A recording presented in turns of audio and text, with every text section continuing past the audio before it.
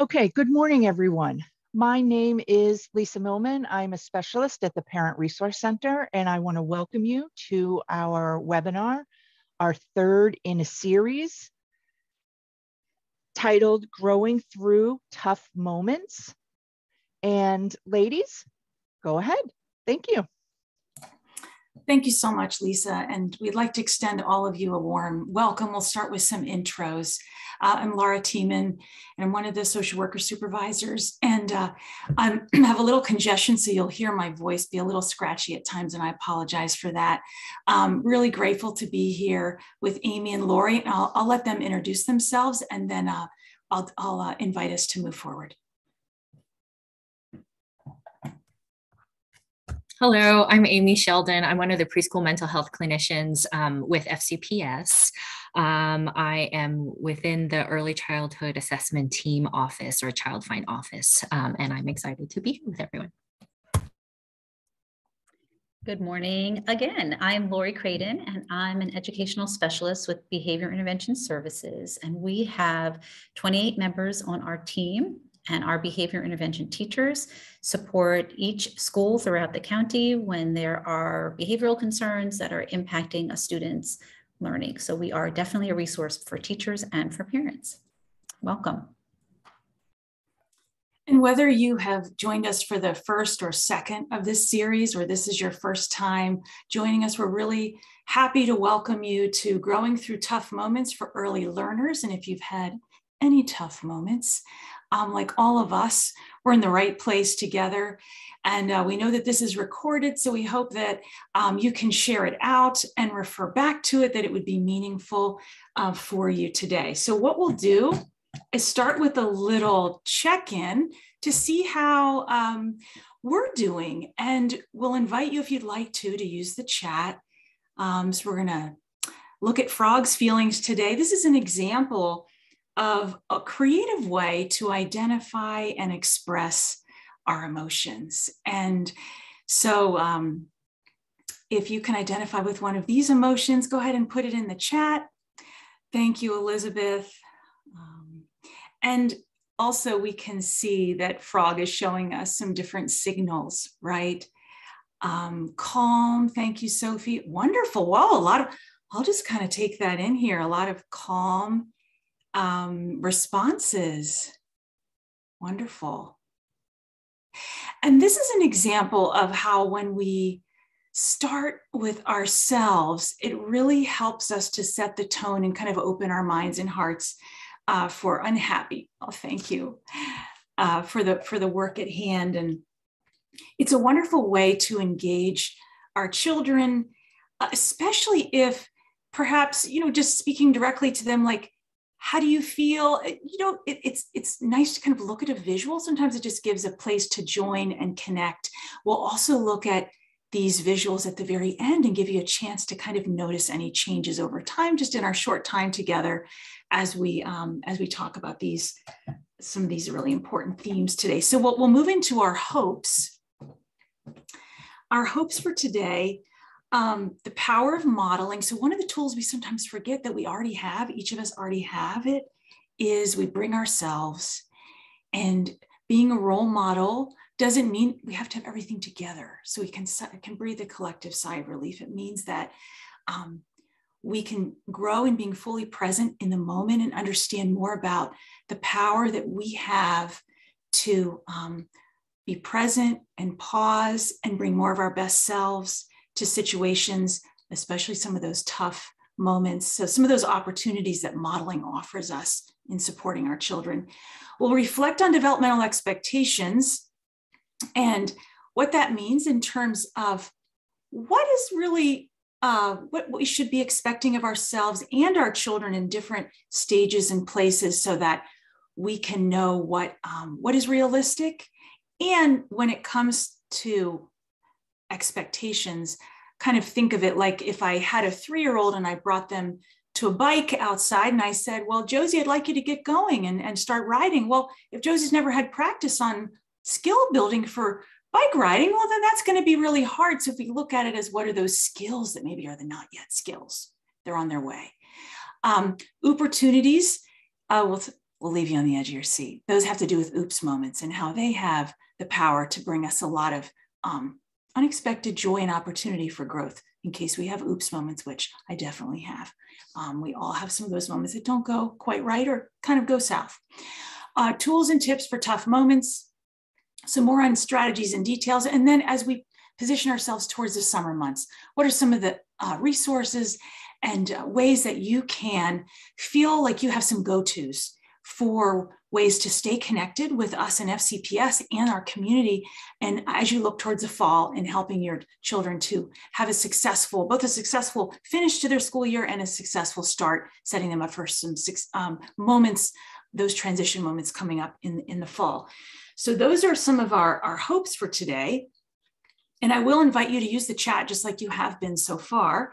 Um, you got to nourish to flourish. So thank you. Was it Amy, you who found this, this slide? This is so lovely. You got to nourish to flourish. You kind of want to do a snap after that.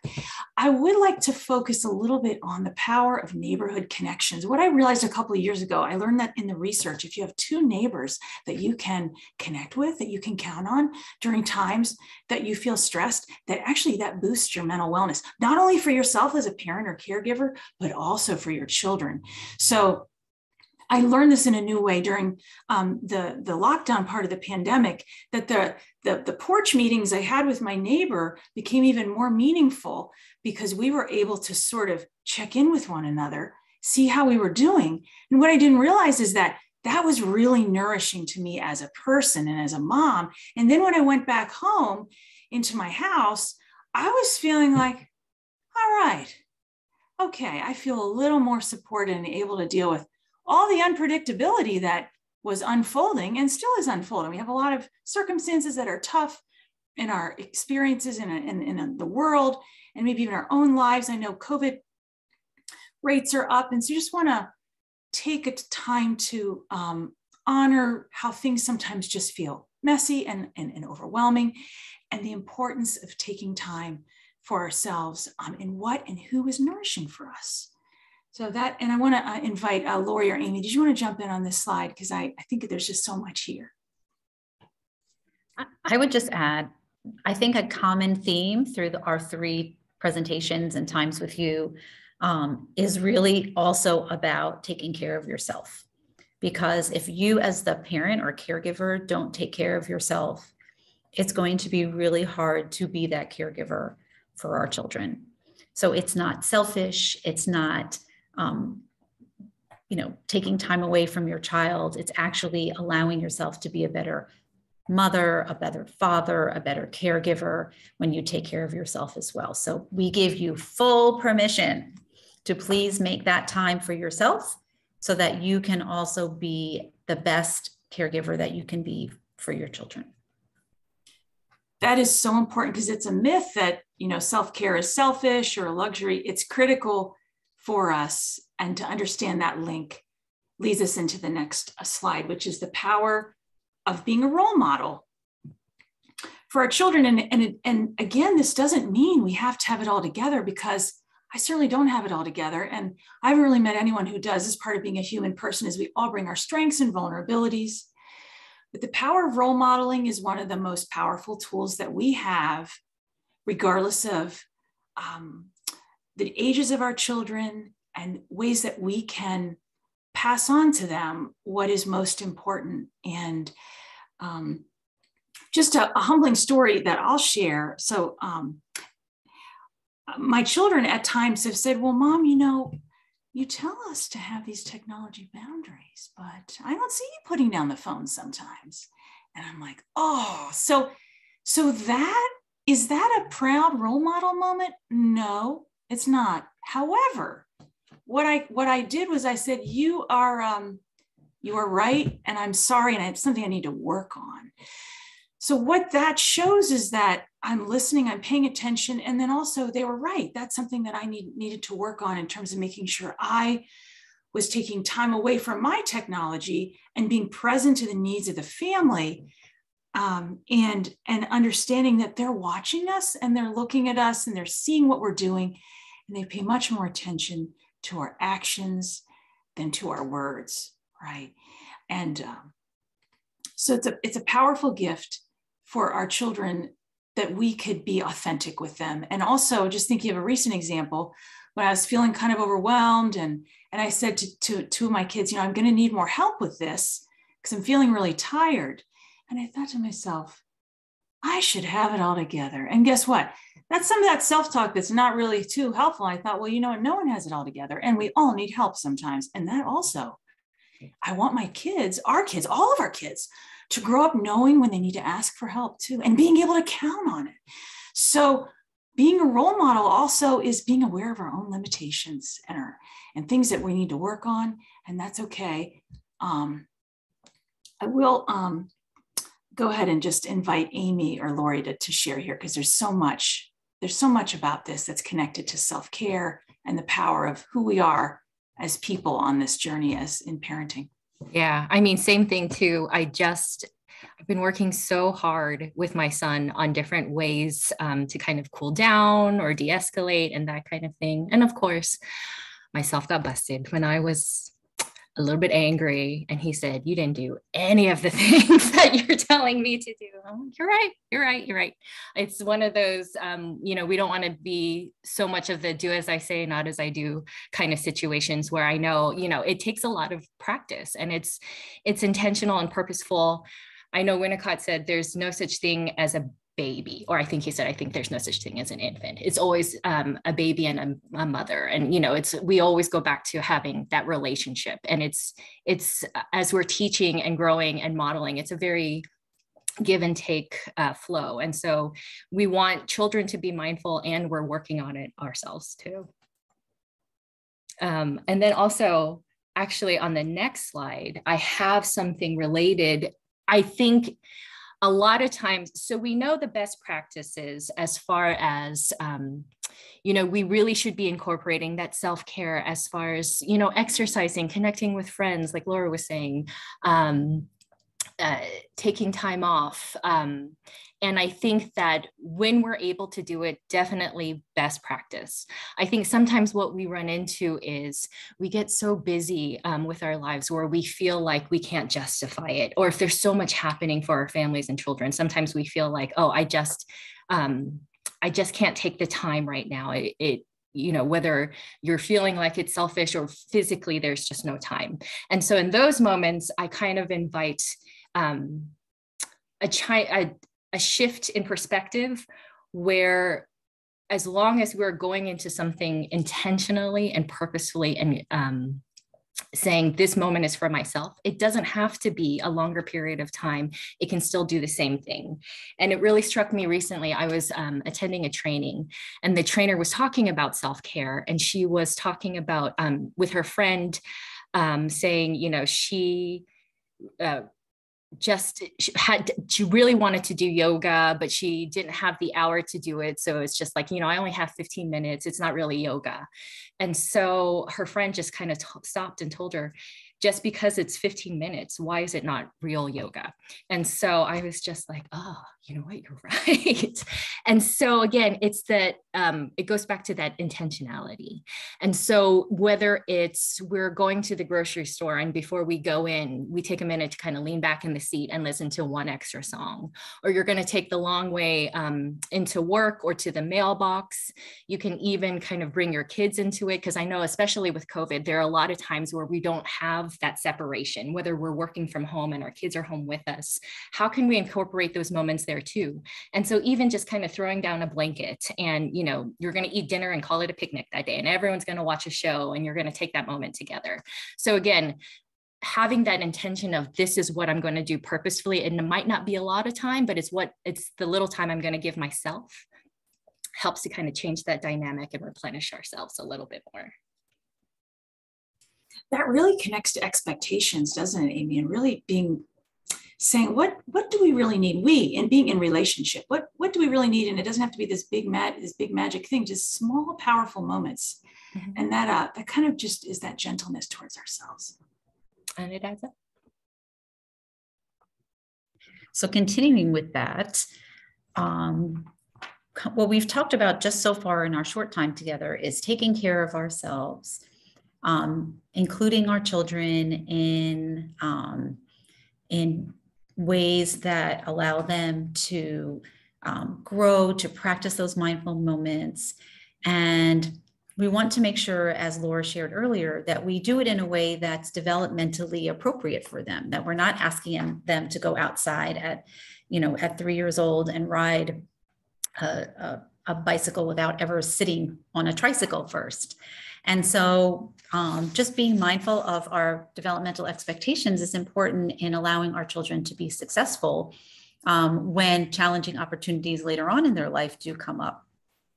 So, ways in which we can support our child's developmental expectations is through modeling and through doing with our child. So, um, Amy and I talked about this. We were supposed to be planning for one of our presentations um, a couple of months ago, and we got a little off topic as we like to do. And we were talking about reading with our children. And our children um, are not early learners at this point, they are a little older. And we were talking about road trips over spring break and ways in which to engage with our kids. And we talked about the joy of listening to audible books together with our children. And our my children are 17 and 19 and Amy's children are a little bit younger. And then we incorporated this conversation with Laura, I think the next time we all got together. And so when they're young, that joy of reading, spending that uninterrupted time together um, is, is just a beautiful way to connect with our children and to show them the importance of being a lifelong learner through reading. And it doesn't end. We still go on road trips at this point and we still pick out podcasts as a family together um, and books together. And it's something that if you ask my my children, you know, when you go on vacation, what are what are some of your highlight memories? It'll start from the car. It'll start from those times together listening to um, our Harry Potter books. So um, continue to read with your children, especially um, our youngest children, because that you know nurturing that love for our books is just so important. Um, I remember my sister in law when um, she came to visit us when my kids were younger, they were about three and five. We took them to Barnes and Noble.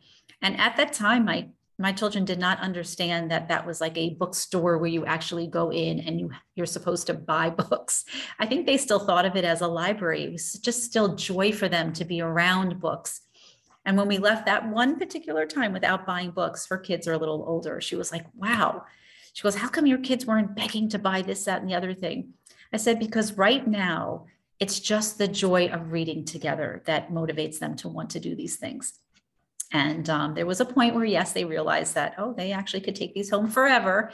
Um, and that's okay. But just again, modeling for them that time um, together, especially by reading, is just, it's a lifelong gift you can give your children. Some of the other things that we can um, um, encourage our children to do with us is to help them with simple chores. Um, I love that little guy in the bottom corner with the with the mop or the broom. That that could have been my son. I mean, he with such zest would clean our house. Um, he thought, and and he was being so helpful. It just gave him such pride in um, in helping us um, with those simple things, those simple chores now that we are encouraging our children to be with others, uh, we definitely also want to encourage play. Um, I know Laura and Amy, this is this is a, a, a very important um, topic for them. Get our children out to the playground. Let them be children again and interact with their peers, their siblings, their cousins. Um, try to let them on their own work out problems versus us jumping in and trying to fix it for them. If you see it's go- going south, then they do need some modeling and guidance from parents, but see if they can figure it out themselves. Um, our rules do need to be consistent um, because the, our children are looking for those guidelines. So that can be um, certainly part of that learning experience. Laura, did you want to share something? Oh, yes. Sorry to. No, I, um, I, I reflect a lot on hide and seek, you know, that that game of of um, the child hiding and the adult finding them. And um, when our children were really little, there was this moment where my son, he was probably three, and he hid like right in front of the couch. I mean, why? I mean, he and so I counted and and you know that here I am. And I was thinking, you didn't even really hide, but you really like this, you really like being found. That's, that's, and then I realized the joy of being discovered is so exciting. And the reason I mentioned this story about hide and seek, so the theme there is I see you, I'm looking for you, I find you, I'm, you know, and um, staying in connection.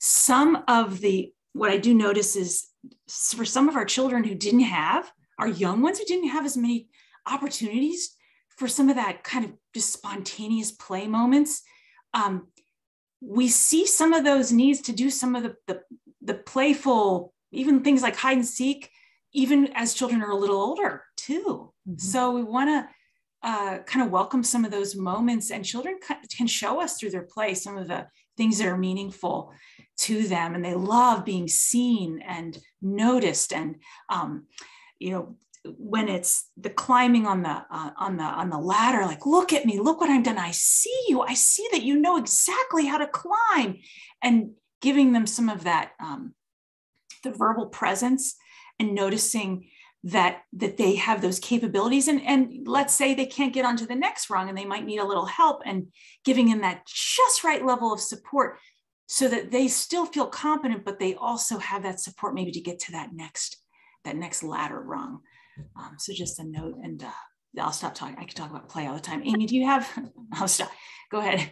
Amy, do you have things to add around play and no, just the big thing too is I know um, there's a lot of emphasis on structure and team sports, and you know I think there are a lot of benefits with that. But you know also if we're able to incorporate any of that unstructured time too, because that's where we get a lot of the the cause and effect, the learning, the negotiating. Um, uh, that opportunity for that to happen organically. And to build on that, I, and I can tell you from experience with older kids, my children have a hard time being bored. They don't know what to do when they don't have something structured to do. And I wish that I could turn back that clock and allow them to be bored more at home so they could figure it out on their own. So I encourage you with younger children to allow your ch- child or children to explore within the home, outside of the home, things that allow them to become unbored on their own in, in within a safe environment. Just put out some Legos, um, maybe put out some Play-Doh, let them explore, let them explore in your backyard while supervised. Um, because as they get older and we have more challenges with technology and, and other influences around them, at least personally, it, it they lose some of that. And so we want to continue to encourage. So we're trying to actually have our, our older children in the car say, we have no electronic time for blocks of time on our road trips. And we have to figure out what we're going to do because going back to the license plate game, which we used to do, or the find different shapes game. I mean, this is what we're doing with our with our teenagers now because we need to bring that back to, to rewire our brain so that we can figure out what to do with that time. Maybe it's just time to to um, meditate, do yoga, um, do some seat push-ups, whatever it might be. But they, but we want to encourage them to figure out some of this on their own. Um, just a couple of other things before we move on to the next slide. Games, family game night, such a joy for, for my family. Um, my daughter is now home from, from college. And again, this is kind of like your future telling, showing you what could happen. Um, she came home and the very next night, we started our game nights because that's something that brings our families together we get to model what it's like when we're not winning. We get to model what it's like to be a, a good sport when we are winning, taking turns, sharing, problem solving. And this is something that we started with our children at a very, very young age with very simple matching games, Chutes and Ladders. Um, and it is something that allows your family time to just come together uninterrupted that modeling is going on, you're practicing your problem solving skills, um, you're allowing them to um, show some independence in choices that they have to make. And it is just such a wonderful opportunity to watch them grow um, through playing games. So we certainly encourage you to do that with your family. That was a lot of developmental expectations wrapped up in a lot of different examples. So um, we hope that you have a lot of takeaways from from this or things you're already doing and you're like, oh, I make that connection. I need to do more of that. Or, oh, we kind of do that, but you know what? We have a nice three day weekend coming up. We're going to go um, and explore and take a nature walk because um, we need a little, we just need a little time together. So enjoy that, those moments. So when our students, our students, see, always an educator also, when our children um, show us that they're really having a hard time maybe expressing um, why they're responding to something that might be either challenging or hard or confusing to them.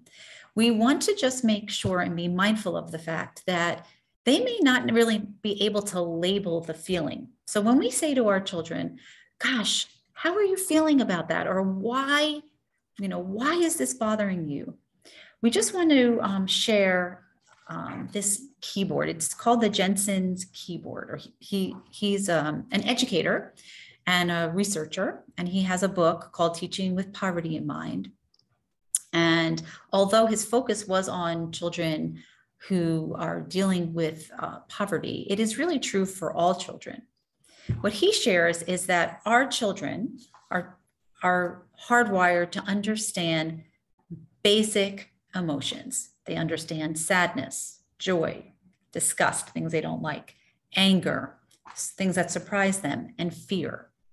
All of those other 10 um, emotions that are listed on the two sides are things that need to actually be taught.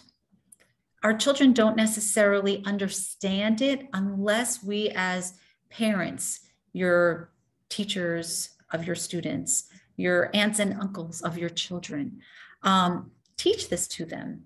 It's really hard to understand forgiveness if it's not modeled. So we have to teach them. If our student um, or your child makes a mistake, and we can give them a hug afterwards and say, it's okay. That hurt.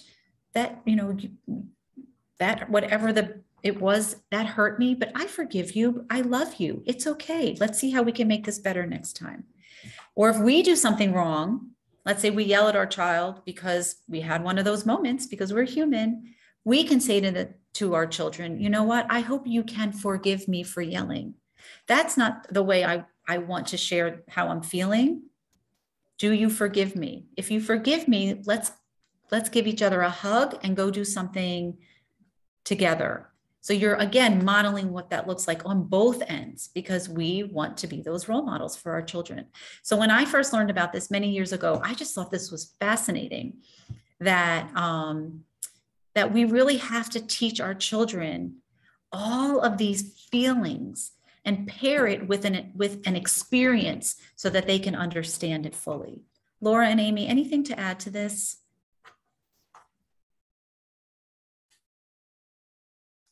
I think I would add, you were talking, Lori, about reading books and listening to books, and it can be very helpful to ask, mm-hmm. you know, how, what is your thought about what that character is? Mm-hmm. What's that like for that character? And when we do that listening, we understand a lot more about where our children are in terms of that awareness.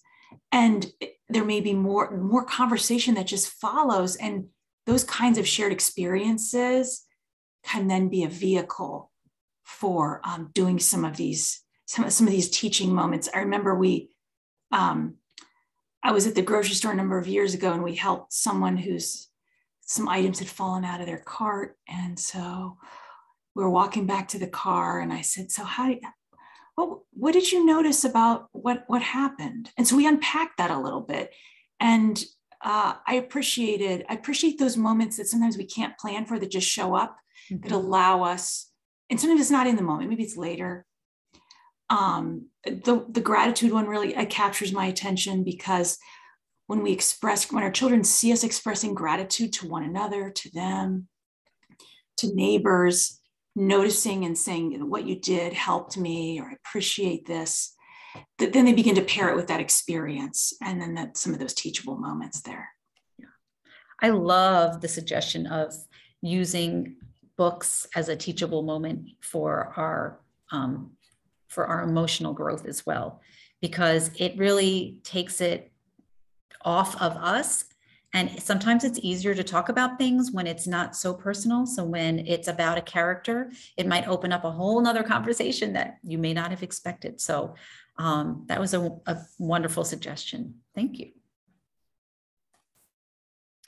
So just as a guideline, um, we just wanted to share this with you. This is from the CDC um, website, and we do have, like many of you had requested last time, we do have a one pager to share with you with a lot of the links to these resources for you to access um, either during or after our time together. And in case you were just wondering what would be appropriate for my five year old or what is appropriate for my seven year old. Um, and again, guidelines. It doesn't mean if they're five, they have to be doing these things. It just means these are things that we look for to make sure that um, you know, at some point around that age that they're able to do. And if they haven't had an opportunity yet to ride a tricycle or try to cut on their own with safety scissors, and they are five, it might be something that you considered um, trying with your child. So um, I'm not going to read all of these because um, we want to give you that opportunity to peruse them on your own. But just know that um, we if we're asking a child, our child, to do something that isn't necessarily developmentally appropriate for them, we might see behaviors that tell us, I'm not ready for this yet, or at least I'm not ready to do this on my own yet.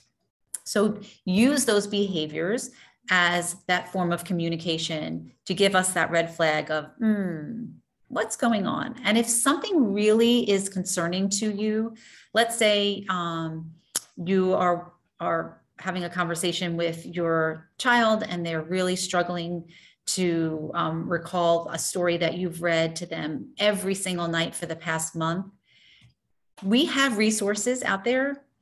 Start with your pediatrician. Let them know um, what your child is doing, what you might have as a concern. They'll let you know if it's something you really need to be concerned about or if it's something that you should just watch. Um, otherwise, our county is just a wealth of resources for you to access if you do need, and we'll, we can talk a little bit about that um, a little later this morning together. And here it is. A little more about that too. And also what Lori was mentioning as far as um, some of those indicators. Sometime i mean we know what we know. There's there's so much about development and the different areas and you know some a lot of what i hear is oh i when i'm asking different questions about developmental stages um, a parent might just respond with saying i just i didn't I, they haven't had the opportunity. I, I didn't know we were supposed to do that. And it's okay. There's no like um, hard and fast things you're supposed to present at different ages. But I think what's nice about some of those checklists too is it gives you ideas of things to introduce. Um, and to explore. And so, a lot of times, too, whether it's cutting or fine motor or different games or activities, um, it does give you ideas. So, it's okay if it's not been introduced. Um, it, it, just gives you um, ideas to kind of present later. Another uh, question that we get a lot is when should I be concerned? When is it time to refer? And so, what I want to emphasize is when it comes to early childhood development. So, we on the left, you see we kind of parsed out the different developmental areas we can look at in early childhood, a lot of these are connected. So it's not unusual um, if you see some challenges or concerns in one area, you're going to see some in another area as well. I mean, if you're thinking of receptive communication and following directions, that's a little bit tied to the cognitive expectations too, depending on age. Um, and as Lori was mentioning, some of that memory recall, you know, some of the nonverbals with the cognitive, the social emotional, um, sleep, we talked about last time, physical health. And when you get the, um, the handout we were talking about, um, and you look at the different areas, one of them is uh, communication, and that one is um, you know, even goes down to how many words in a sentence should my three year old be using? Or what are acceptable sound substitutions if they're saying F every time they um, are supposed to say th um, or you know that kind of thing just to give you an idea. And as lori was mentioning too you can always touch base with your pediatrician. So where i kind of tell parents is um, if you're noticing challenges in any of these areas to the extent where it's making them difficult to engage in activities or routines, then go ahead and reach out um, and uh, see if you can get more information. And that's what we're here for and designed to do. Um, also, you know, I say always go with your gut. So if your pediatrician is saying generally this is okay, um, but you're thinking, well, just from what I know, I'm still a little bit concerned. It doesn't hurt to reach out to us too. And so we can give that information, we can ask the questions, we can even do some screenings um, to kind of just get more information and see do we want to look further into this? Does it seem pretty um, typical? It doesn't hurt to get more information. So that's why in the bottom, I'm saying when in doubt, reach out but again, when it gets to the point where it's becoming difficult to engage in just activities or routine, then you want to um, kind of get more information. So um, on the right, I just want to explain a few things. FCPS Child Find, that's through us. And so if your child is between the ages of two and five, you would be calling that number for more information. If your child is between the ages of zero to three, you would be calling the infant and toddler connection of Fairfax Falls Church. And again, that information is in that handout um, that we're going to send to everybody. And so um, FCPS Child Find, because we're through the school system, everything is free. Infant and toddler connection, it is um, up through the assessment, that is free as well.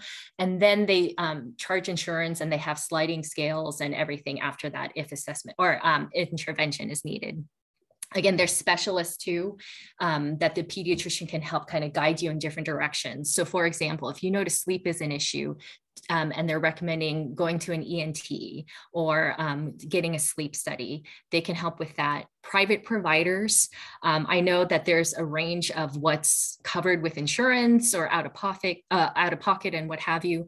But there are private providers for speech therapists, occupational, physical, um, that kind of thing. So another place to access. But um, you know, there's a range of things. And again, I really want to emphasize at least some of the free things, but it, it never hurts to just reach out and get more information. Okay, so I will we'll take an imagination moment just very quickly. When you look at this image on the screen and put in the chat maybe something that comes to mind for you, what it could be, um, if, it, if it was anything, if you could make it into something. Could it be? Catch it. Yes. Like, are there any pictures or images it looks like to you?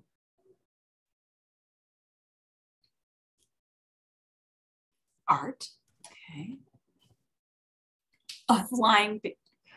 Thank you. A flying pig. So a child's saying, yes, normal. Mm, yes, it sounds like I chose a good image uh, a pig coming out of the water. Okay, so this is really just uh, kind of taking on a life of its own. I was kind of see a sailboat.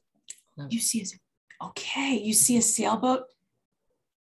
Any other noticing? So this is such a good example of witch on a broom. Oh, yeah. There is no every answer. This is how you see it, right? This is a little like the example when I'm with kids or even adults can do this. And we pass around a um, paper towel roll and say, make it into anything you want it to be, right? It can be anything you want it to be. So we have freedom to look at this without having to clean it up. How's that, right? Is the shirt ruined? Exactly. That's why I put the oops in red because it's these are tough moments, these oops moments. So I made up this word opportunities because I um Uh, there was a, a, a, time when my children were very young and we had a lot of spills. And I'm not going to lie, I'm going to tell you, I did a lot of spilling, definitely. Some of the spilling was mine, my own, but I would overreact.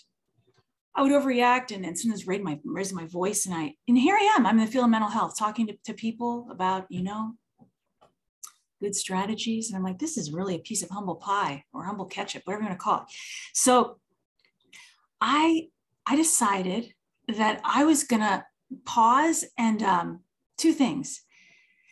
I made up a very silly song so that every time I said to myself, every time it spills, I spill it, or someone spills from now on, we are singing this song. And I won't sing it for you, I'll tell you the words. It's, it's um, um, we all spill, even Uncle Will. We don't have an Uncle Will, but um, just saying that was singing that, and I, I don't have the greatest voice, was very goofy and funny. Then I would ask children, just take a look and see what this looks like. Crescent moon, whatever the thing look, whatever the little spill look like, and not like we're seeking out spills. Oh, let's spill so we can see. No, but it what it did it brought a different association to this moment, this oops moment, right?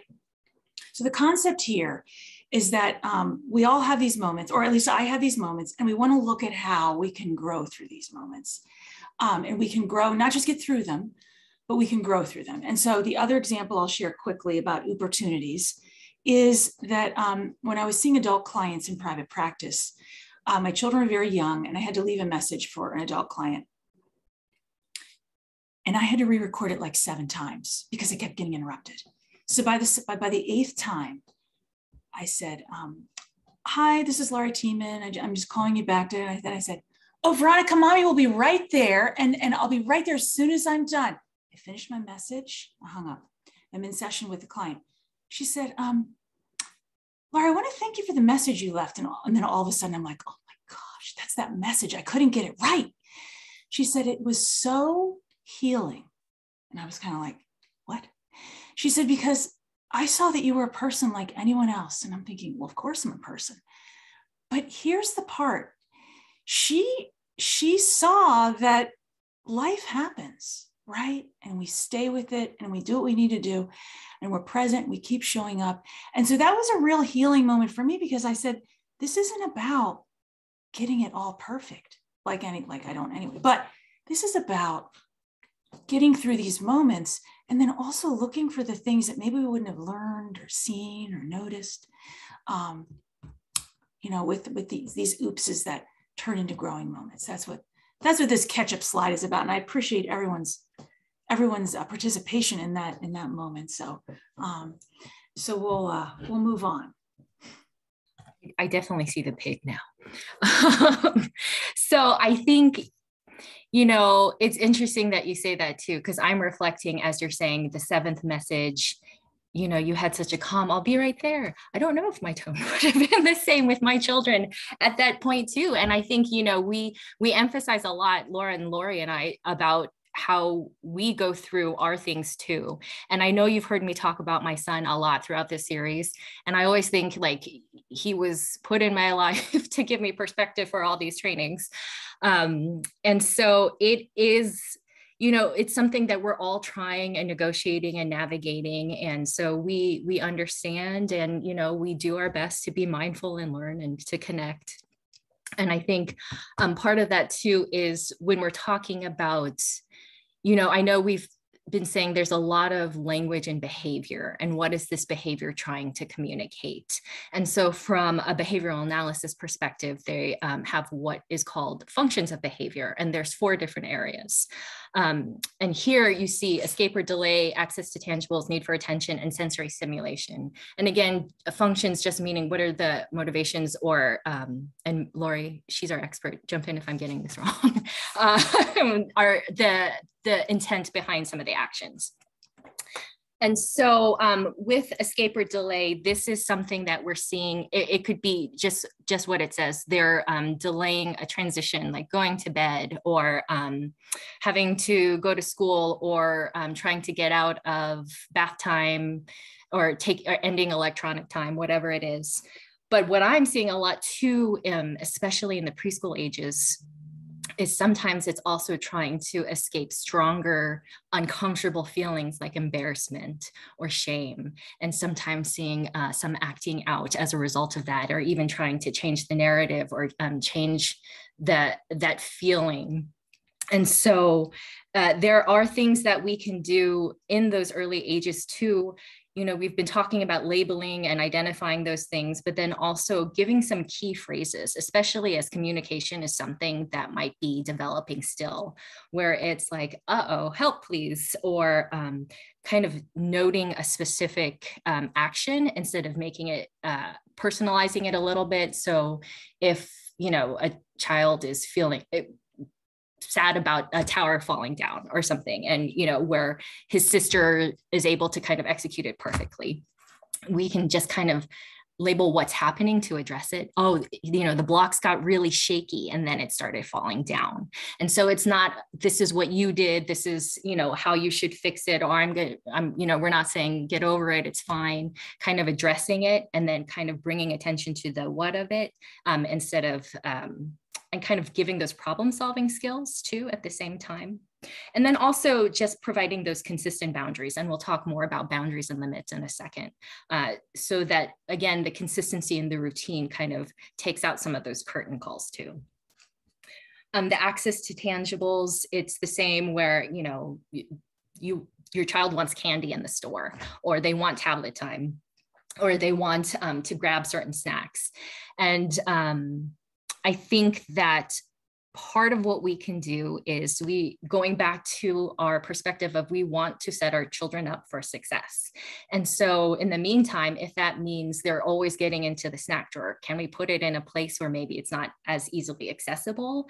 Um, and again we ultimately would love for our children to be in a place where they can think about what they want think about the consequences and make choices accordingly and that would be great. But sometimes, as a four year old is learning everything else, we want to kind of build up to it slowly. And so, in the meantime, you know, giving them the opportunity to build for success, giving clear um, expectations, like in in the store, we're only going to get oranges and milk, and then we're going to come back. Kind of communicating that clearly um, or also providing choices. So there's at least some control of the opportunity. You know, you can't have cookies, but you can have a granola bar or pretzels, um, just kind of giving some alternatives. Uh, need for attention. I think even for myself, I, I'm trying to kind of think about how do I I feel like I, I sometimes I like a lot of attention, sometimes I don't. It depends on the situation. But even with my husband, the other day, sometimes if I feel like I need more attention, I'll just sit next to him and I'll kind of lean into him. And that's like my nonverbal. And it, sometimes it's picked up, sometimes it's not. And, you know, I think about that too with my son. Even this morning, it was a lot of, see, I'm talking about my son again. Um, him saying, there's a really cool game I think you should look at uh, there's a really cool game I think you should look at, and kind of just repeating it and repeating it. And so finally, it was like, oh wait a second, what is what is he needing right now? And so it took just a second for me to kind of respond back. Um, it sounds like there's a game you really want to tell me about, and so being able to kind of connect for a second, uh, have him uh, present the information and I know, so there's some uh, research out there too that says even five minutes of purposeful attention each day with each child um, can help mitigate some of those needs too. And um, I also know that there are situations where that's just not always feasible, like on the phone or um, like other things. And so I think it was on the other slide where we're practicing patience as a skill building too. Um, and so you know understanding that there's times where you have to wait and then we're we still want to be able to reinforce that um, the, practicing of patience was great. So as soon as you get off the phone, thank you so much for waiting. Um, it looked like you wanted to show me something. Do you want to go ahead and do that? And so we're both kind of reinforcing the waiting and the patience.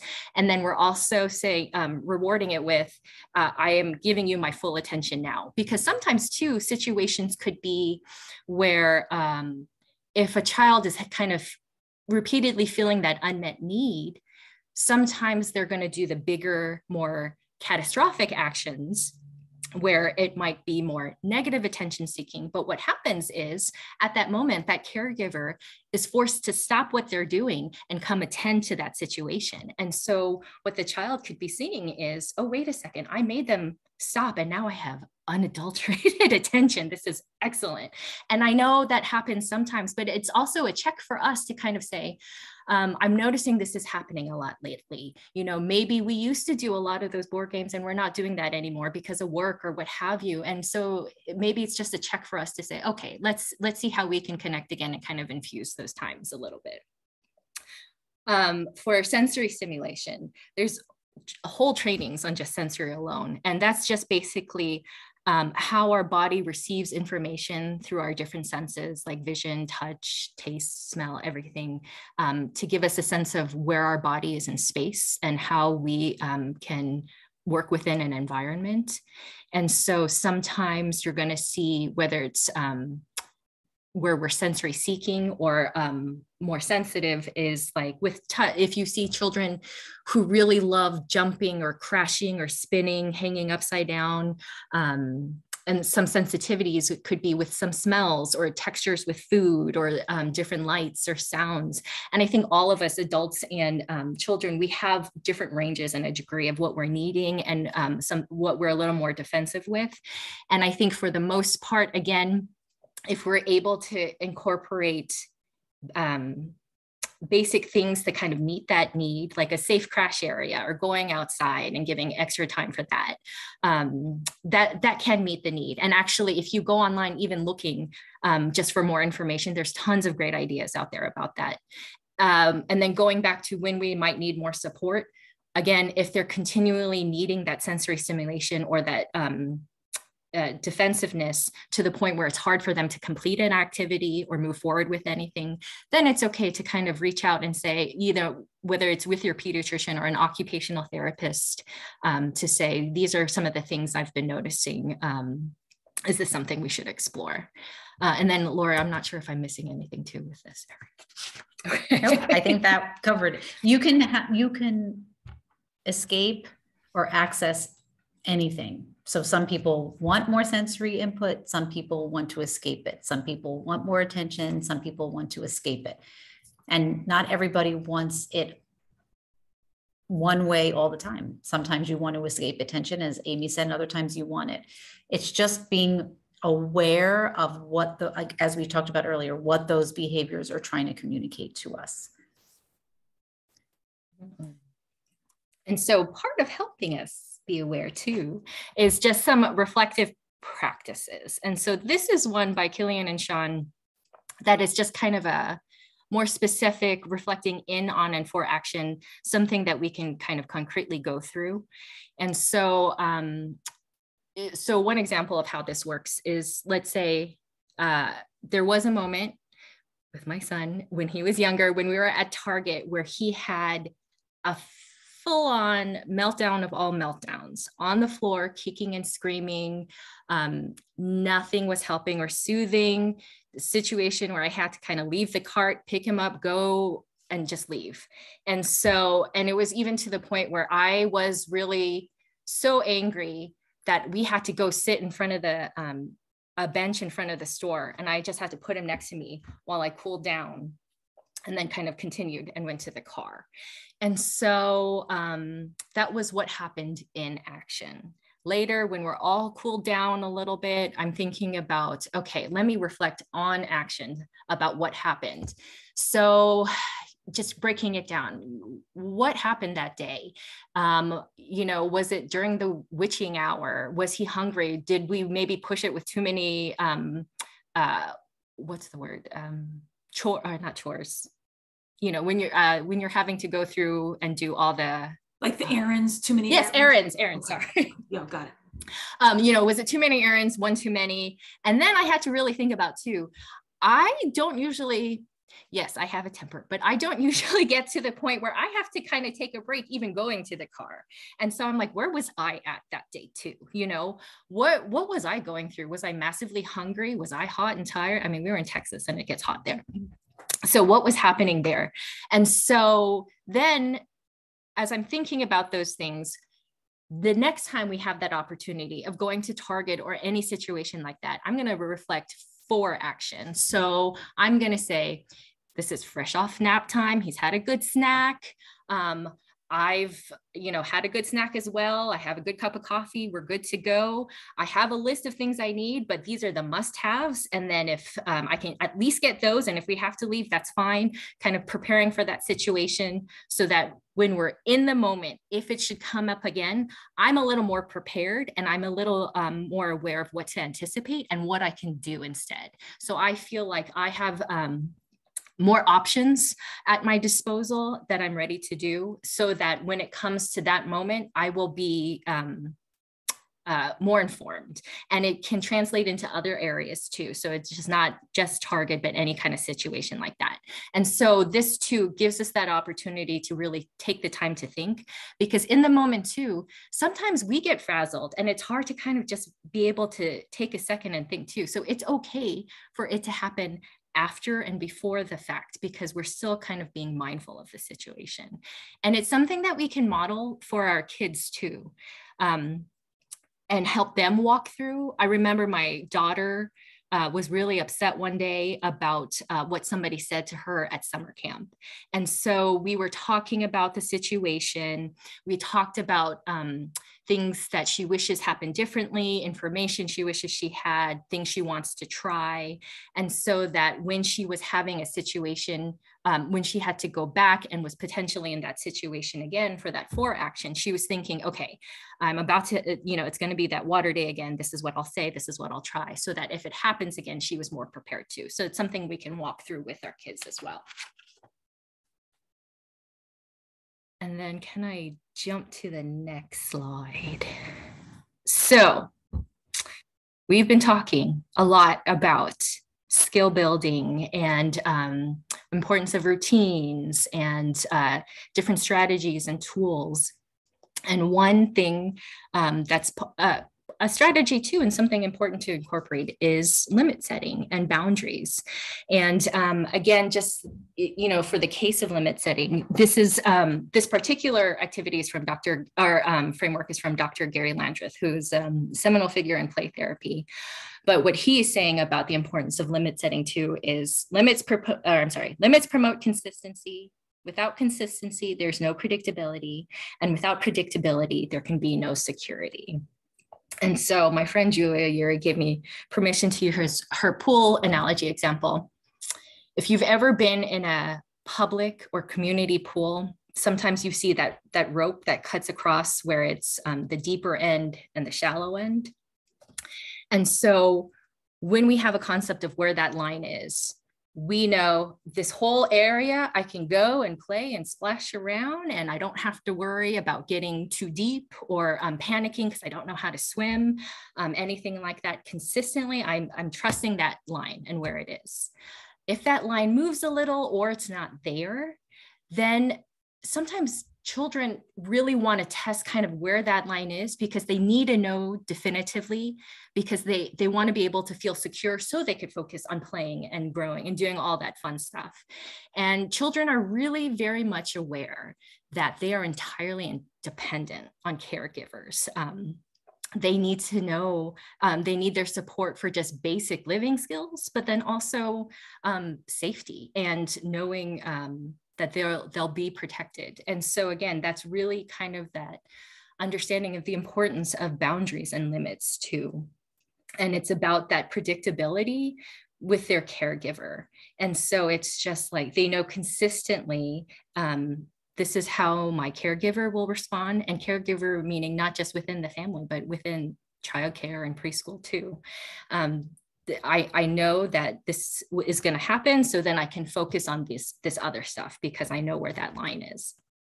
And so uh, what i like about that act approach is that um, it is something that's concrete.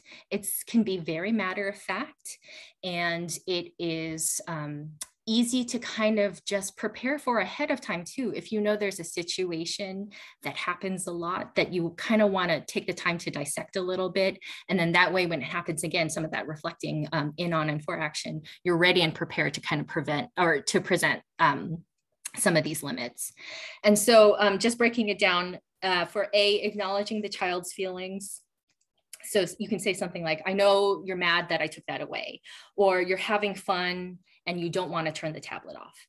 Um, C, communicating the limit, but people aren't for hitting. Or um, we heard the timer, it's time to turn it off.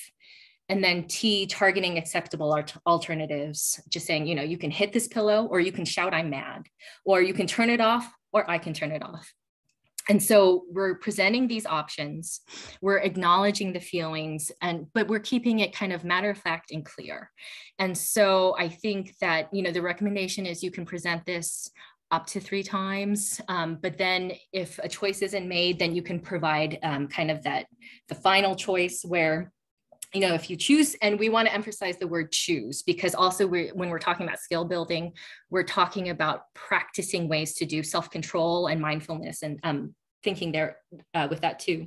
So you can choose to hit me or if you choose to hit me you choose to lose movie time. If you choose to stop you get to choose to keep your movie choice. And again too um, sometimes um, you you kind of uh, it, it's a way you can keep it quick and describe all these things you'll see that there are moments where it's easier to kind of present this. So when it's again full meltdown choice sometimes it's hard and so we just have to provide like the the quick version um, or kind of wait for de-escalation. But there's a lot of sometimes buildup where they're in that mode where they might be more receptive to hear it. So we're kind of trying to target those areas. And also, if you're looking at, um, again, another uh, thing, if you're researching just Garry Landreth, ACT, there's also tons of examples too if you need um, things to help out. And I know Laura's also used this as well. I don't know if you have anything else to add.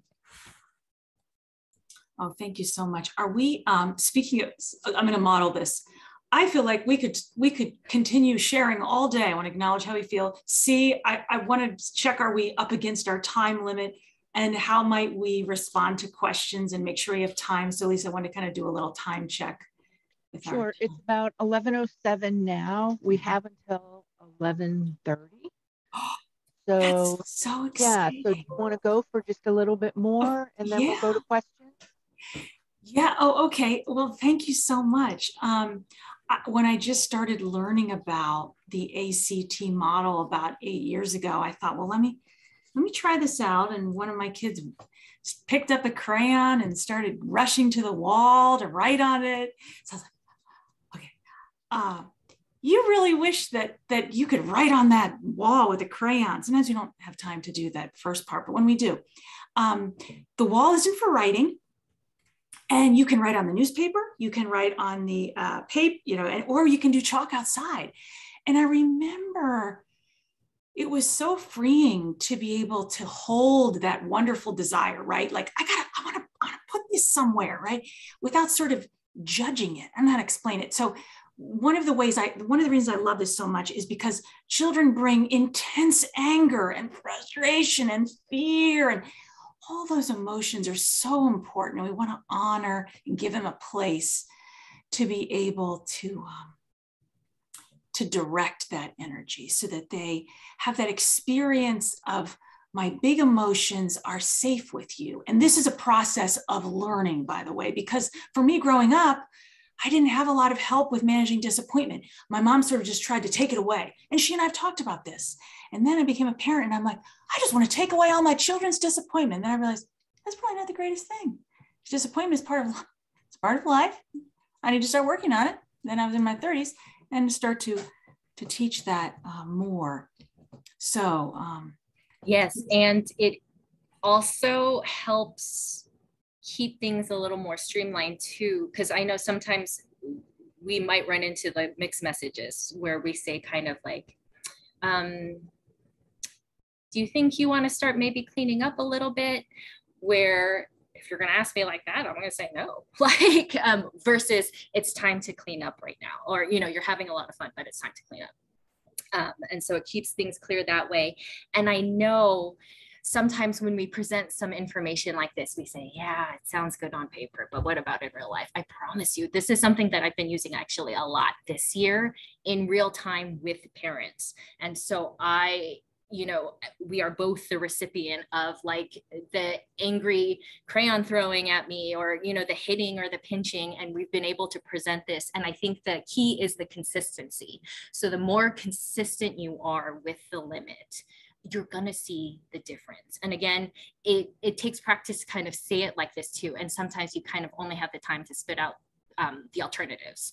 And that's okay as we kind of work through that. But again it's the consistency um, and based on that, I was going to show a, another video, but based on time, how about we just show this? And then if we have time at the end, we can go through the other one because I want to make sure we have time for questions too. Okay.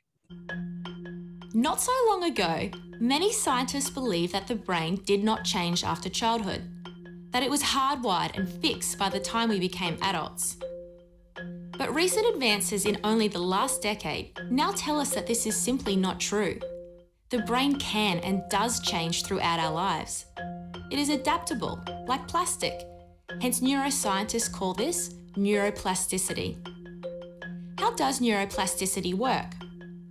If you think of your brain as a dynamic, connected power grid, there are billions of pathways or roads lighting up every time you think, feel, or do something. Some of these roads are well travelled. These are our habits, our established ways of thinking, feeling, and doing. Every time we think in a certain way, practice a particular task, or feel a specific emotion, we strengthen this road. It becomes easier for our brains to travel this pathway. Say we think about something differently learn a new task, or choose a different emotion, we start carving out a new road. If we keep travelling that road, our brains begin to use this pathway more, and this new way of thinking, feeling, or doing becomes second nature. The old pathway gets used less and less and weakens. This process of rewiring your brain by forming new connections and weakening old ones is neuroplasticity in action. The good news is that we all have the ability to learn and change by rewiring our brains. If you have ever changed a bad habit or thought about something differently, you have carved a new pathway in your brain and experienced neuroplasticity firsthand. With repeated and directed attention towards your desired change, you can rewire your brain.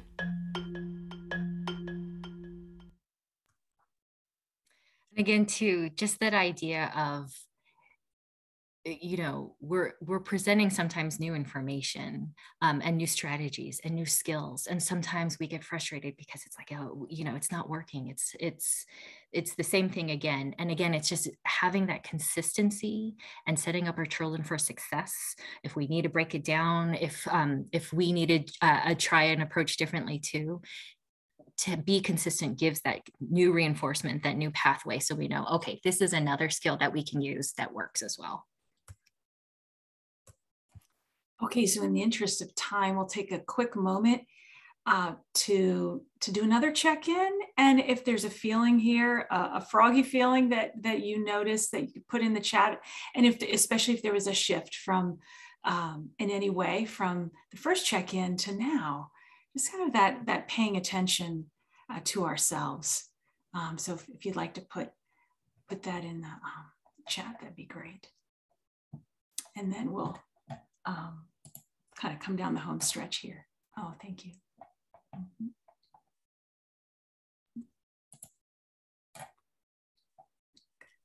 Calm and happy. Yeah. Oh, wonderful. I hope people feel feel encouraged and affirmed, and also that kind of um, bite-sized uh, steps that are incremental um, that frog and toad speaking of frog there's a frog and toad book about frog makes a list you know of all things he wants to do. I just put things in my list i've already done and check it off now. It's already done that. Feel a little good. So you got to work with our wiring sometimes and be a little gentle with ourselves. All right. Okay. Thank you for um oh anxious to calm. Okay so thanks for the so this kind of noticing of our own selves and our energy and how we're doing um, without judgment really kind kindness towards ourselves that's a gift to not only ourselves, but also our children. Okay, Lori. All right. So, big shift, big change. School, whether it's preschool, kindergarten, first grade, is about to come to a close. And here comes summer. Everything we just talked about, structures, expectations, um, are about to potentially go out the window. So, what we thought would be helpful is to provide you with just some local um, activities that you might want to engage um, or participate in with your children. We have four links. I'm going to have to actually, because I'm presenting, um, I'm going to have to come out of the presentation. And we just want to very quickly show you um, the four websites that have some great information on it.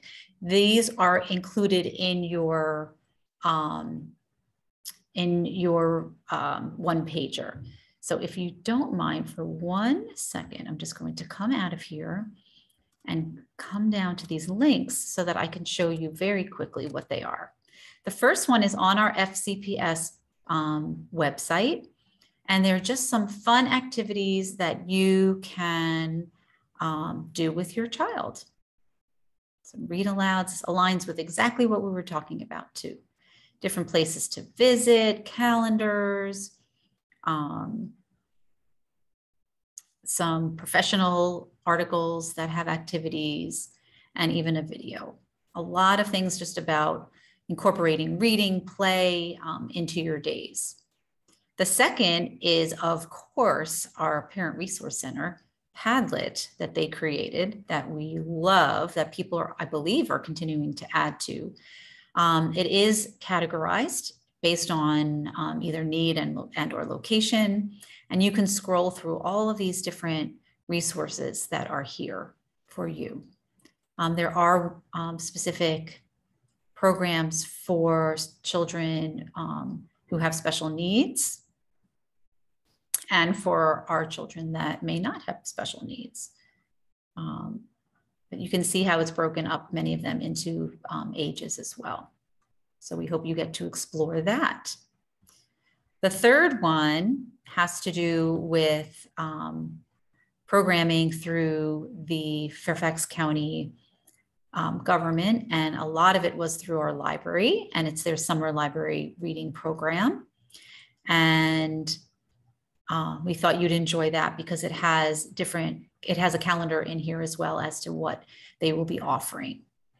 And then the final one is the more specific link to the activities uh, and the calendar. And you can register right on um, this website based on what your interest is.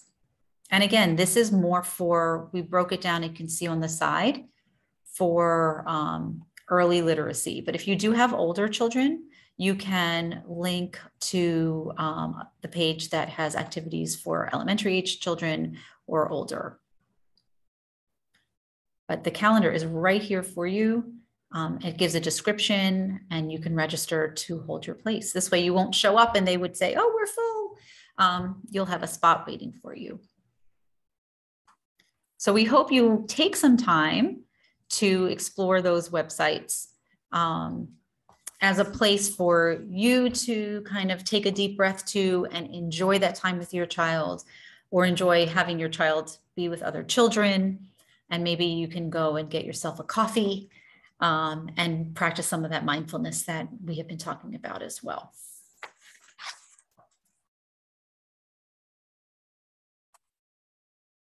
So as we do come together, we, the, today was really, really uh, chock full of information and there was a, a lot of sharing on our end and we're very much looking forward to you sharing um, for the remainder of the time and asking questions.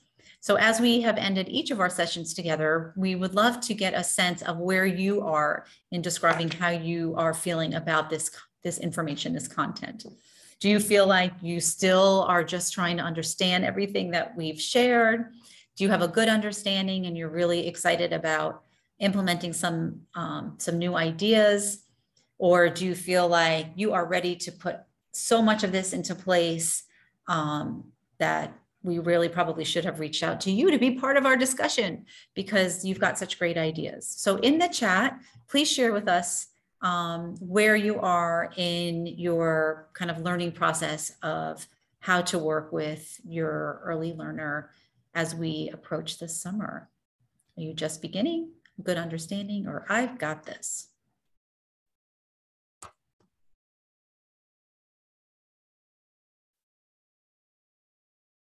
It's funny, there are times where I feel like I'm at the beginning, and then there are times where I'm like, I've got this. And then I'm like, oh, maybe I don't. I'm going to go and call my sister, say, how did you do this? And sometimes for me, it happens all within an hour. And it all like exactly. The good news is is we feel so connected to all of you because not only are we in the field of education, but we are parents, and um, we're just so grateful for this opportunity to be on this journey with you. Um, and we hope to be able to that we hope that you've picked up some helpful tips and we are excited to always learn from you as well.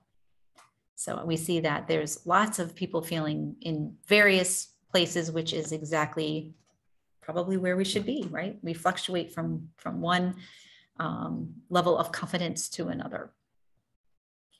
All right, so have um, completed our three-part series of our training together. And for those of you who have been to either one of our presentations, two or all three, again, we're just so grateful for your commitment um, to your children by carving out some time to be with us today and potentially some of those other days in March and April. And we really wish you the best of luck as summer approaches and take moments for yourself. Take moments with your children to grow and, and have fun with opportunities. And we look forward to hopefully um, spending more time with you next year. Okay, would you like some questions? We Yep. are Sounds good. happy for Okay. questions. How do you help older children, 13, for example, to get unboard when they are on long-term restrictions from their electronic devices? We've all come across this. so choice providing choice is never a bad option regardless of an age so and it might be that you brainstorm with your child what those choices might be all right so this and this you are living my life um, so when when we take that choice of electronics away we provide other choices amy talked about this and Laura talked about this in those two structures um, that they mentioned earlier. So you, we we know you want your electronics now. That's not an option. Let's talk about what is an option and brainstorm some things. Maybe just write it down. And then this way, this is actually I had to do this with my own children. And then this way, when they have those bored moments and they say, I I there's nothing for me to do. You're taking away my only thing I want to do, which is play games online with my friends. Well, look, we brainstormed together some other things to do. What which one of these options would you like to choose? Uh, to just build on that, another thing, and because I have been, ha- this is a familiar question for, for me as a parent also, is that um, when there's a lot of frustration about that, wouldn't be the time to have that moment and that discussion. It would be during a time, for example, a time when maybe there's a a moment of connection that you have with your 13 year old that where things it's more of a neutral space where the, their emotions are not as high with regard to the technology piece. And the reason is because with the brain science we know that we're not really when we feel emotions very very intensely we're not going to really be accessing that prefrontal cortex where great thinking and creativity and problem solving. The other thing um, that i wanted to offer is that um, I had to say to my 14 year old recently, my 14 year old son, I said, Joey, you know, I I would love to spend more time with you. And I wanted to kind of get some ideas from you on that. And it truly meant it. Right. So that uh, sort of the pause and the connecting and the listening. And uh, he loves being outside. He loves throwing frisbee. He loves, sometimes we'll have good conversations in the car on the way to soccer. But for some of my kids, it's easier than others trying to get a sense of that. Mm-hmm. hope those, those are um, helpful. No, Laura, I love that. And, and a hundred percent agree that in the moment when, when we're escalated, those are not the times to have those planning conversations. We would have them maybe during dinner in, in what we would call kind of like a priming conversation. Hey, summer's coming. We're going to start you know the expectation is we want to start doing things other than seeing you in your room on your ipad. Let's brainstorm some things that we can do together and incorporate what laura said. This is the perfect opportunity for us to spend more time together. Let's let's write it down. Maybe you have a whiteboard or you have a, a journal and document it there. So then when those opportunities come where the electronics are not part of that option you've already had that conversation previously you already have your brainstorming idea. And maybe you know if they're stuck you can offer some choice from from that list. Hey you know what? I think it's time to make some chocolate chip cookies. Let's go let's do this together. And then and then we can talk about what you might want to do next. So um i hope that helps. But we're we're, we're there with you. We're, we're living the dream with um, the electronics. one of the questions was how to contact you all. And I think the best oh. thing would be for them to contact the PRC right here. And Sade has put everything in the chat. So if you have questions, contact us and we can help you um, through that. All right, let's go on to another one. Do any of the presenters have any printable templates they can share that they use with young children as visuals to help regulate behavior or explain a daytime or nighttime routine schedule? Yes. And we had, maybe we can share the um, resource page from our previous um, time together because it was embedded in that resource page. Would that be Easy. possible? Of course. I, I can I can attach all everything. Perfect. Okay. With younger children having screen time, can you give ideas? Uh, oh, we just did that one on breaking boredom. Okay, so we did that one. How do you solve siblings' feelings of jealousy? I have a six year old who constantly feels frustrated about her baby brother. I tell her that I love them the same, but she doesn't understand. You're not alone. I'll, I'll start and then I'd love for, for Amy Laurie to jump in. Um, so, what I've noticed over, the years with six year olds who are feeling very understandable feelings is they sometimes appreciate um, kind of one on one time with a parent or parents and doing things that are kind of meaningful for them where they have that one-on-one attention even if it's in small incremental time. So they get to experience i'm in connection with you and you know i have this this is funny um our kids were born pretty close together and when i brought one of my kids home from the hospital uh, and, and then he got to be six months old older sibling was two and i put um i put dominic in that ExerSaucer one day and and veronica looked at him and she was she was about one and a half or two, and she said, I'd like you to take him out of there. I want to be in there. And I said, Huh, you really want to be in there? She said, I'm too big. I said, No, that's true. Right.